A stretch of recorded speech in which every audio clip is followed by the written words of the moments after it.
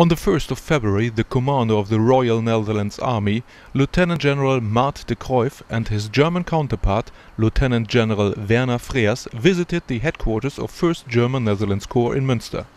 By signing the so-called Terms of Reference for the German-Dutch Army Steering Group, the commanders gave a clear signal that both armies will focus even more on the already excellent cooperation.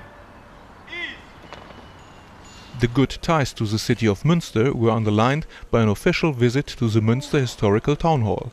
Mayor Wendela Beate Vilhjalmsson welcomed the military guest. During a tour to the historical town hall, Mrs. Vilhjalmsson explained a lot about the Westphalian peace, the history of the city of Münster and the link to both countries.